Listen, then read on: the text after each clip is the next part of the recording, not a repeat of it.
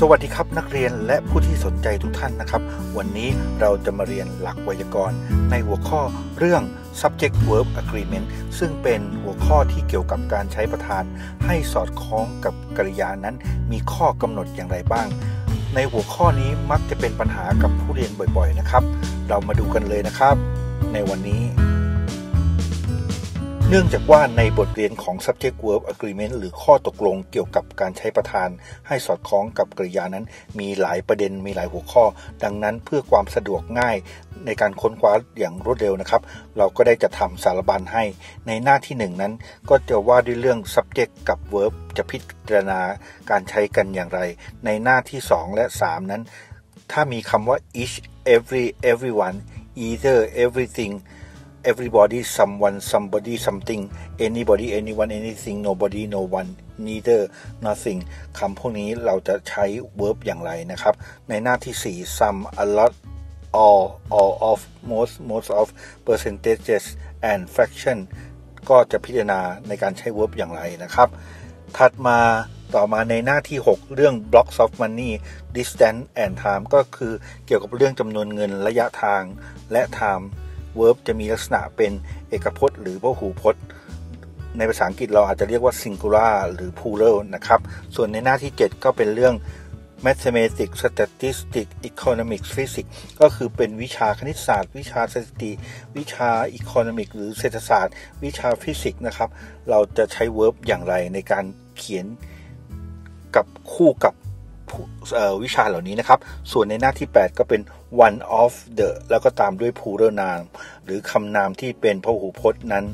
จะพิจารณาตัว verb อย่างไร ในหน้าที่ 9 ถึง 12 จะเป็น exercise ที่ 1 13 ถึง 14 ก็จะเป็น exercise ที่ 2 แล้วในหน้าที่ 15 สรุปวิธีการใช้นะครับ สรุปให้หมดเลยนะครับ ทั้งหมดนี้ก็จะเป็นเรื่องราวของ subject verb agreement หรือหลักในการใช้ให้ประธานสอดคล้องกับกริยานั่นเองนะครับ ก่อนอื่นนะครับ เราจะพูดเราจะอธิบายกฎเกณฑ์ของมัน แล้วก็ตัวอย่างของประโยคนะครับ ซึ่งตัวอย่างของประโยคก็จะรวมอยู่ในนี้ครับ แล้วก็อันนี้คือกฎเกณฑ์ของมันนะครับ เราจะอธิบายทั้งหมดกฎเกณฑ์ทุกข้อทุกหน้าเสร็จแล้วเราก็จะตามด้วยแบบขัดทั้ง 1 ทั้ง 2 แล้วก็สรุปนะครับ ดังนั้นนักเรียนถ้าเกิดนักเรียนจำกฎเกณฑ์ได้แล้ว นักเรียนก็แวะไปชม แวะไปฝึกทำที่แบบขัดได้เลยนะครับ เรามาเริ่มกันเลยนะครับใน ข้อที่ 1 กฎเกณฑ์ที่ 1 subject verb นะครับ verb must agree with subjects in number and in person one first second third นะครับ verb เนี่ยเขาบอกกริยาเนี่ยมักต้องใช้ให้มันสอดคล้องกับประธาน ด้วยจำนวนก็คือถ้าเกิดประธานเนี่ยจำนวนมันเยอะนะครับจำนวนเยอะอย่างสมมุติคนเนี่ยมี2อสคน verb ก็ต้องใช้เป็น plural verb หรือ verb พหูพจน์นะครับ in person และ and in person แล้วก็บุคคลที่ 1 บุคคลที่ 2 บุคคลที่ 3คำว่าบุคคลที่ 1 นั้น มันก็หมายถึง อันนี้อาจจะจำคร่าวๆก็ได้ครับจำคร่าวๆเลยก็ได้นะครับ เพื่อความง่าย อย่างเช่น he she it นี้นี่นะครับ he she it เราก็ใช้ verb ที่เป็น singular หรือเป็นเอกพจน์ นะครับ ถ้า I U V day นักเรียนจำแบบนี้เลยก็ได้นะครับ I U V day อันนี้ก็ใช้ verb เป็น plural หรือพหูพจน์นะครับ หรือพหูนาม verb ต้องสอดคล้องกัน เรามาดูที่ตัวอย่างเลยนะครับ singular ก็คือเอกพจน์นะครับพจน์เดียว นามที่เป็นพจน์เดียว หรือเป็นหนึ่งเดียวมีจำนวนชิ้นเดียวนะครับ the boy dances verb นี่ก็ต้องเป็นอะไรครับ verb ก็ต้องเติม es นะครับ แต่ถ้าเกิดเป็น plural ก็คือคำนามเนี่ยเยอะ the boys อันนี้หลายคนเด็กหลายคนนะครับ ก็ต้องใช้ verb เป็น dance verb จะต้องไม่เติม s นะครับ นี่เกณฑ์ของ subject and verb หรือประธานจะต้องสอดคล้องกับกริยาโดยดูที่จำนวนนะครับจำนวน หรือหรือดูที่บุคคล บุคคลในที่นี้ก็หมายถึง he she it ก็ใช้ singular หรือเอกพจน์ I you we they ก็ใช้ plural หรือคำนามนะครับ เรามาดูคำอธิบายต่อไป the crowd drinks นะครับ อันนี้ cow ก็คือวัวตัวเดียว drinks ก็เลยเติม s เป็น verb ต้องเติม s นะครับ the cows drink นะครับ อันนี้คำนามซึ่งวัวหลายตัวคำนามเนี่ยเติม s มันจะหมายถึงหลายตัวนะครับ แต่ drink เนี่ยมันเป็น เป็น verb ซึ่งไม่ต้องเติม s นะครับ มันจะหมายถึง plural มันจะกลับกันนะครับ นักเรียนอย่าไปสับสนของมันนะครับ she eats แล้วก็ they eat นักเรียนก็อาจจะจำว่า she eats they eat จำแค่นี้ครับ แล้วก็สามารถจำเพียงแค่นี้ แล้วก็เอาไปใช้ในการทำข้อสอบในการเขียนหนังสือได้นะครับจำ จำเป็นประโยคไปเลยนะครับ ถ้าไปจำเป็นกฎเกณฑ์ อาจจะมึนงง ดังนั้นหลักเทคนิคในการจำก็คือควรจะจำเป็นประโยค she eats they eat หรือถ้าไม่ชอบประโยคนี้ครับนักเรียนอาจจะใช้อันนี้ก็ได้ the cow drinks the cows drink นะครับไม่ต้องเติม s ที่ verb อันนี้ก็คือสรุปก็คือเป็นในเรื่องของ subject และ verb นะครับ ในข้อที่ 1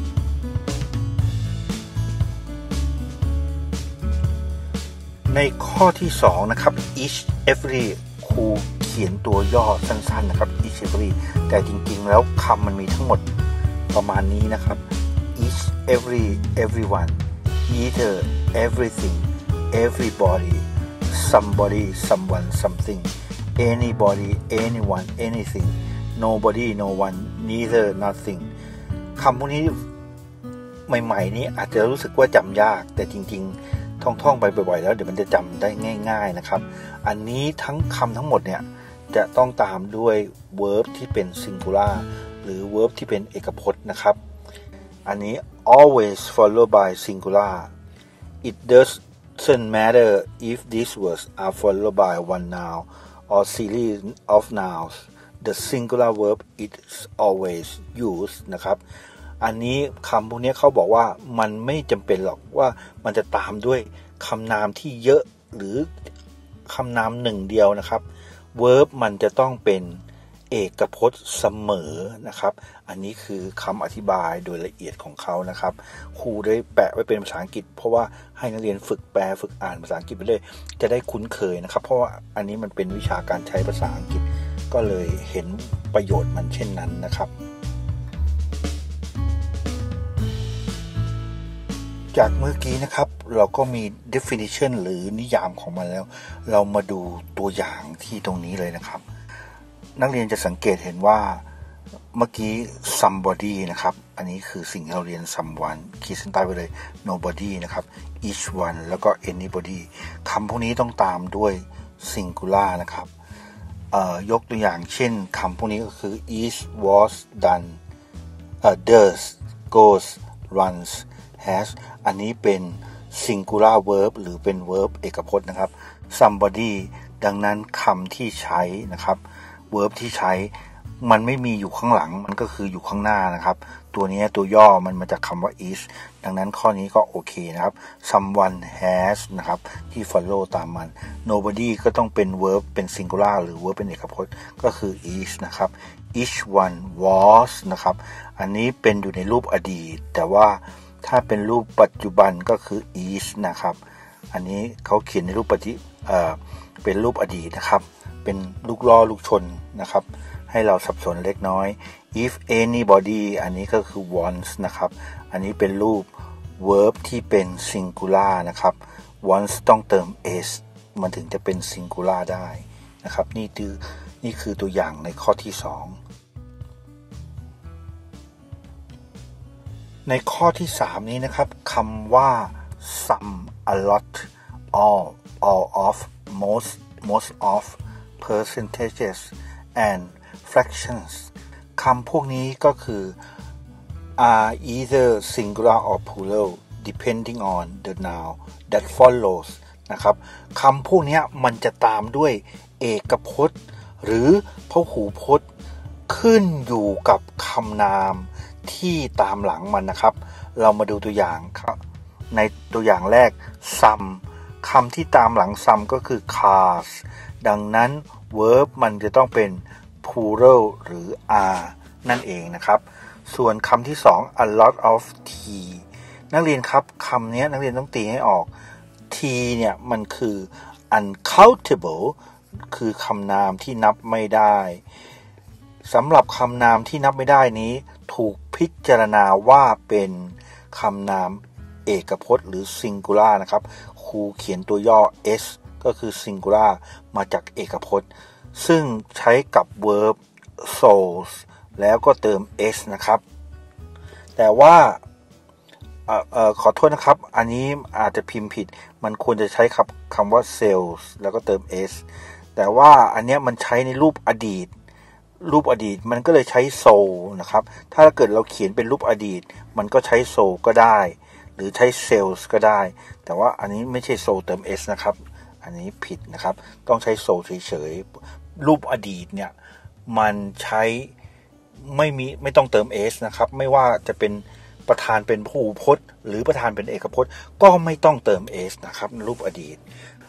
ข้อต่อมา most of workers นะครับ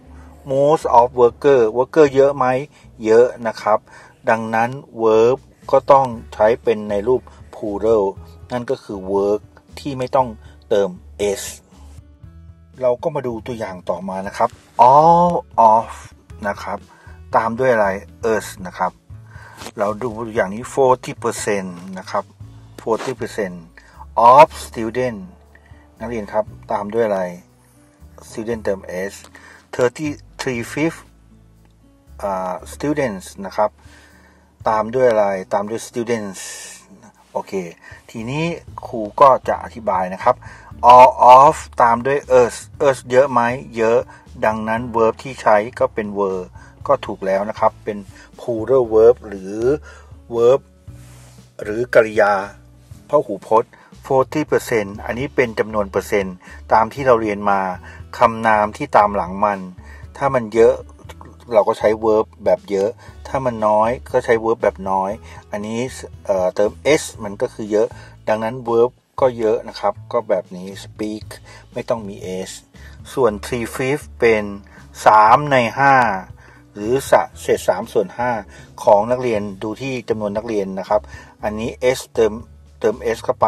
verb ก็ต้องเป็น r ถูกแล้วนะครับ verb ไม่ใช่ is นะครับ ต้องเป็น are เพราะดูที่จำนวนนักเรียนนะครับ นี่คือตัวอย่างในเรื่องนี้ ถัดมาในกฎเกณฑ์ข้อ 4 นะครับ ในกฎเกณฑ์ข้อ 4 box of money นะครับ ก็คือหมายถึงจำนวนเงิน distance and time ระยะทาง distance แล้วก็เวลา พวกนี้นะครับใช้ singular verb หรือ verb เอกพจน์นะครับนักเรียนมาดูที่นี่นะครับ70 dollars เป็น money นะครับ เป็นจำนวนเงิน money ดังนั้น verb ก็ต้องใช้ is ถูกต้องแล้วนะครับ verb ต้องใช้ is เสร็จแล้วนะครับ 200 kilometers 200 กิโลเมตร200 กิโลเมตร เป็นระยะทาง ดังนั้น verb ก็ต้องใช้ is นะครับ แปรผัน อันนี้เป็นตัวอย่าง ถัดมา 5 minutes เวลาก็คือ time 50 minutes นะครับ ไม่ใช่ 5 minutes sorry ดังนั้น verb ก็ต้องใช้ is นะครับ very long coffee break เป็นเวลาที่ทำไมครับ ในการดื่ม coffee break พักดื่ม coffee มันนานเกินไปนะครับ 50 นาที นี่คือตัวอย่างในเรื่อง box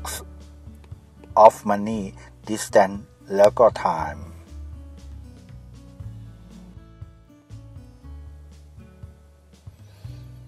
ถัดมานะครับ อันนี้เป็น academic subject academic subject ก็คือชื่อวิชาเฉยๆนะครับ ที่ลงท้ายด้วยตัว s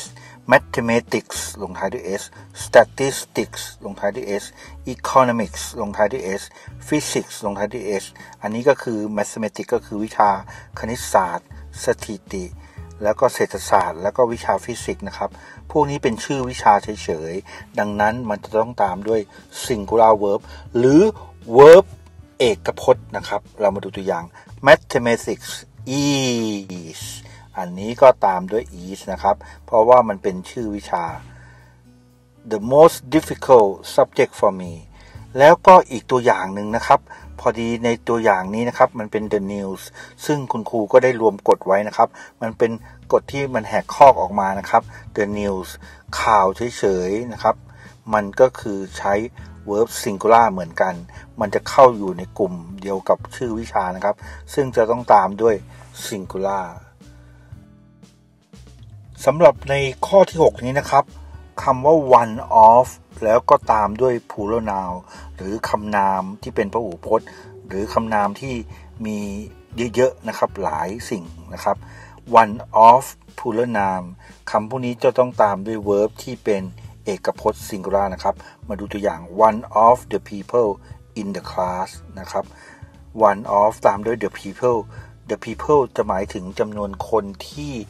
เยอะๆ แต่ถ้าเกิดคนเดียวเราเรียกว่า person นะครับ in the class ดังนั้นมันต้องใช้ verb เป็น singular ก็คือ comes นะครับ เติม s อันนี้ระวังนะครับ อันนี้ข้อนี้น่าจะผิดพลาดกันบ่อยๆนะครับ เพราะว่ากฎมันแปลกๆ ต่อมานะครับ one of the cars เติม s นะครับ ดังนั้น one ถ้ามี one of ขึ้นหน้า verb จะต้องเป็นอะไรครับ เป็นเอกพจน์ มันก็เป็น is one of the cars in the garage is Ferrari นะครับ รถคันหนึ่งที่อยู่ในการาจในอู่ซ่อมมันคือ Ferrari นะครับ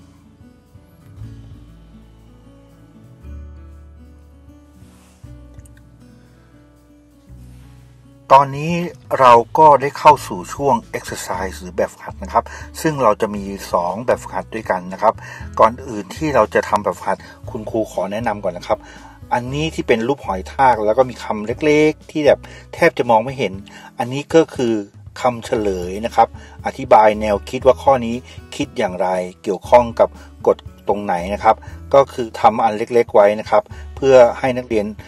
นักเรียนลองทำแล้วก็ถ้าเกิดทำแล้วนึกไม่ออก ก็ให้มาดูที่ตรงนี้นะครับ ว่ามันกฎเกณฑ์เกี่ยวกับอะไร แต่ถ้ายังจำไม่ได้ก็ให้เปิดไปดูบริเวณกฎเกณฑ์ในข้อนั้นๆนะครับ แต่ว่าดูในนี้ส่วนใหญ่แล้วก็น่าจะจำได้นะครับ ส่วนในข้อนี้ก็จะเป็นมีกฎเกณฑ์เป็นอธิบายนะครับ เรามาเริ่มทำกันเลยนะครับ my sister and I นะครับ อันนี้นะครับนักเรียนกฎเกณฑ์อันนี้จะถูกสรุปไว้ที่ด้านหลังนะครับ เนื่องจากว่ากฎเกณฑ์มันมี 10 ข้อ ซึ่งมันเยอะเกินไปนะครับ ดังนั้นครูก็จะสรุปเหลือสำคัญแค่ 6 ข้อ แต่ว่ากฎเกณฑ์อันนี้มันจะมีที่ด้านหลังก็คือว่าถ้าเกิดมีแอนเนี่ยมันก็ถือว่าอันนี้ก็เป็น1นะครับ อันนี้ก็เป็น1นะครับ รวมกันอย่างน้อยต้องเป็น 2 ดังนั้น verb ที่ใช้จะต้องเป็น verb พหูพจน์คำตอบในข้อนี้ก็คือ spend นะครับ เรามาดูกันที่ตรงนี้นะครับ ตรง ข้างหลังนี่นะครับ เราก็จะอธิบาย subject joy by and and ก็คือประธานที่เชื่อมกันด้วยคำว่า and นะครับ มันก็เป็นพหูพจน์นะครับ ต้องใช้ verb ที่เป็นพหูพจน์ ในข้อ 2 Mary นะครับ six brothers Mary ก็คือคนกี่คน คนหนึ่งคน verb มันก็ต้องใช้เป็น has นะครับ อันนี้เป็นเรื่องอะไรนะครับ เป็นเรื่องโดยตรงที่เกี่ยวข้องกับ subject and verb นะครับ โอเค ก็ต้องใช้ has Mary has six brothers นะครับ ต่อมา four people 4 คนนะครับ คน 4 คนจำนวนคน มันเป็นเรื่อง subject กับ verb ถ้าเกิด subject เยอะ verb ก็ต้องใช้แบบเยอะหรือแบบพหูพจน์ก็ต้อง live นะครับ เราก็เติมไป live นะครับ อันนี้ก็คือคำตอบ ส่วนเฉลยนะครับคำอธิบายว่ามาจากข้อไหนก็ดูที่ด้านหลังที่เป็นรูปหอยทากนี้นะครับสำหรับอันนี้นะครับ mathematics เป็นชื่อวิชาใช่ไหมครับ ใช่ ชื่อวิชาใช้เอกพจน์หรือพหูพจน์คำตอบก็คือใช้เอกพจน์นะครับ ชื่อวิชา is นี่อ่านตรงนี้ก็ได้นะครับ mathematics statistics physics นะครับ เกี่ยวข้องกับชื่อวิชา มันเป็นเอกพจน์นะครับ ถ้าเกิดนักเรียนจำไม่ได้ก็ไปดูที่คำอธิบายในแต่ละหน้าของมันนะครับ ในเกี่ยวกับชื่อวิชาที่ลงท้ายด้วย s แต่ว่าเวลา verb ต้องใช้เป็น verb singular นะครับ ต่อมา one of จำได้ไหมครับ one of ก็คือตามด้วย plural อันนี้เป็น plural แต่มันไม่เติม s เพราะว่ามันผันรูป child ก็เป็น children แปลว่าเด็กหลายคน one of the children verb ต้องใช้เป็นอะไรครับ เป็น is นะครับ ต้องใช้เป็น is นะครับ ระวังโดนหลอกนะครับ ต่อมานะครับ my brother and I มี and อีกแล้วนะครับ แสดงว่าประธานเนี่ย subject and verb เนี่ย มันจอยด้วย and ดังนั้นมันต้องใช้ verb ที่เป็นพหูพจน์ spend หรือ spends นะครับคำตอบที่เป็นพหูพจน์ก็คือ spends เออ spend เฉยๆนะครับนี่นะครับในหน้านี้ก็คือ เป็นเป็นข้อ 9 กับข้อ 10 ซึ่งจะเป็น 2 ข้อสุดท้ายใน exercise ที่ 1 นะครับ เรามาดูกันเลยนะครับ10 dollars ถ้าเป็นจำนวนเงิน verb ต้องเป็นเอกพจน์นะครับ ดังนั้นอันนี้เลย was นะครับ เราดูเท่านี้ก็พอนะครับ แล้วก็ everyone of the girl ถ้าเกิดขึ้นต้นด้วย everyone นะครับคำพวกนี้ทั้งหมดขึ้นต้นด้วยเนี่ย ทั้งหมดให้ดูที่ประธานหลัง of นะครับ girls เยอะหรือน้อย เยอะ เพราะนั้น verb ก็ต้องใช้เยอะนะครับ ดู ต้องใช้ดู ทั้งหมดนี่ก็คือเฉลยใน exercise ที่ 1 ข้อ 1 ถึงข้อ 10 นะครับ ในแบบฝึกหัดที่ 2 นะครับ error correction correct the mistake นะครับ in the following sentences ก็คือให้เราแก้ไขคำผิดนะครับ เขาจะให้ประโยคมา แล้วอันนี้ก็คือคำเฉลยหรือให้แนวคิดนะครับคำเฉลยหรือให้แนวคิดว่าข้อนี้คิดอย่างไรนะครับ ข้อนี้เกี่ยวข้องกับกฎข้อไหน แต่ว่าครูขออนุญาตเขียนตัวเล็กๆหน่อยนะครับ เพื่อไม่ให้เราไปมองมันนะครับ ให้ทำก่อนแล้วก็ค่อยไปดูมันจะได้ผลที่ดีกว่านะครับ he always go church a Sunday นะครับ he ขึ้นต้นด้วย he ดังนั้น subject ก็ต้องเกี่ยวข้องกับ goes นะครับ ไม่ใช่ go ข้อ 2 นะครับ the police police นี่ก็อยู่ในกฎของ summary นะครับ police นี่เป็นพหูพจน์เสมอนะครับ ดังนั้น is เนี่ย มันไม่ใช่ มันต้องเป็น r นะครับ ถ้า is ถ้าเขาให้ is มาเป็น r แต่ถ้าเกิดเขาให้ was มา มันจะต้องเป็น were นะครับ อันนี้เพราะว่านี้เป็นเอกพจน์ แต่เป็นรูปอดีต อันนี้เป็นพหูพจน์ก็เป็นรูปอดีต is เป็นรูป เอกพจน์ในรูปปัจจุบัน r เป็นรูปพหูพจน์ในรูปปัจจุบันนะครับ ต่อมา one off เอ่อตามหลัง one off ก็ดูว่าเยอะหรือน้อยที่เชิญเติม s นะครับ ดังนั้นตรงนี้ก็ต้องใช้เป็นเอกพจน์นะครับ ข้อนี้มันจะแปลกๆนะเรียนก็ต้องระวังข้อนี้นะครับ ใช้ is ถัดมาใน exercise ใน 2 ข้อสุดท้ายนะครับ เราก็ดู in hot summer 10 miles จำนวน mile ดังนั้นมันจะต้องเป็น verb อะไรครับ เอกพจน์ r ก็ต้องเปลี่ยนเป็น is ต่อมานะครับ ข้อ 5 physics are fascinating ชื่อวิชาเป็นอะไร economic ก็เป็นชื่อวิชาเป็นอะไร ดังนั้นต้องเปลี่ยนให้หมดเป็นเอกพจน์นะครับ is r ก็ต้องเปลี่ยนเป็น is นะครับ physics นั้นเป็นวิชาที่น่ามหัศจรรย์ economic นั้นเป็นวิชาที่ยากเกินไปสำหรับฉันนะครับ ถ้าเกิดใครไม่เข้าใจแนวคิดก็ให้ดูที่ อยทากนะครับคำอธิบาย ในหน้านี้เป็นหน้าสุดท้ายนะครับ summary เราสรุปกฎเกณฑ์ทั้งหมดนะครับ ตอนแรกเราเขียนไป 6 ข้อนะครับ แต่จริงๆแล้วมันมีเยอะกว่า 6 ข้อ แต่มันเป็นข้อที่ย่อยๆลงไป เราก็ตัดเหลือ 6 ข้อก่อน แต่ว่าในหน้านี้เราจะแสดงทั้งหมดเลยนะครับ subject verb ก็ใช้ singular หรือ plural ตามแต่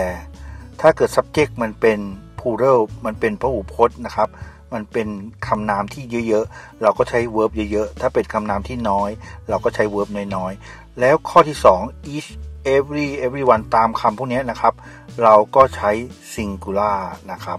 ใช้ singular หรือว่า verb ที่เป็นเอกพจน์ ในข้อที่ 3 นะครับ some a lot all all of most most of percentage fraction คำพวกนี้มันจะเป็น singular หรือ oral หรือ plural นะครับ เป็นเอกพจน์หรือเป็นพหูพจน์ มันขึ้นอยู่กับว่าคำที่ตามมัน ว่ามันคำที่ตามมันเป็นเอกพจน์หรือพหูพจน์ ใช้สอดคล้องกับคำนั้นนะครับ ส่วนข้อ 4 block of money distance and time ก็คือจำนวนเงิน ระยะทางแล้วก็เวลาให้พิจารณาถือว่า ใช้ verb เป็นเอกพจน์นะครับ ส่วนชื่อวิชา mathematics ที่ลงท้ายด้วย s statistics ที่ลงท้ายด้วย s economics หรือ physics ที่ลงท้ายด้วย s วิชาทั้งหมดอะไรก็แล้วแต่ที่ลงท้ายด้วย s ให้ถือว่าเป็น verb singular หรือ verb เอกพจน์นะครับ ส่วนในข้อ 6 one of the plural noun one off ตามด้วยคำนามที่เป็นพหูพจน์ หรือคำนามที่มีเยอะๆนะครับ เราใช้ verb singular อันนี้อาจจะสับสนนิดนึงคำว่า advice หรือ news นะครับ ให้พิจารณาใช้ verb เป็น singular อันนี้ข้อ 7 ถึงข้อ 10 เราไม่ได้บรรจุไว้เนื่องจากว่ามันเป็นข้อที่ยิบย่อยออกไปนะครับ police ก็คือตำรวจใช้ verb ที่เป็นพหูพจน์ ส่วน to subject ประธาน connected by or หรือ nor either or หรือ neither nor อันนี้เป็นตัวอย่างเขานะครับ verb เนี่ยต้องใช้ตามประธานตัวหลังนะครับ ประธานตัวหลังเยอะเป็นคำนามเยอะเราก็ใช้ verb เยอะๆ หรือ verb ที่เป็น plural นะครับ แล้วก็ข้อ 10 ข้อสุดท้ายประธานที่เชื่อมด้วยคำว่า and นะครับ ใช้ plural สถานเดียว ใช้ verb plural สถานเดียวนะครับ ทั้งหมดนี้ก็คือ subject verb agreement ซึ่งต้องใช้ประธาน คู่กับกริยาตามกฎระเบียบที่ได้วางไว้นะครับ ขอให้นักเรียนมีมีความสุขกับการเรียนในวิชาแกรมมานี้นะครับ พบกันใหม่ได้ในวิดีโอชุดถัดไปนะครับ สวัสดีครับ And now it's time to say goodbye. Hopefully, the lesson is helpful for your understanding. And do not forget to press like, share, and subscribe. See you in the next video. Thank you. Bye.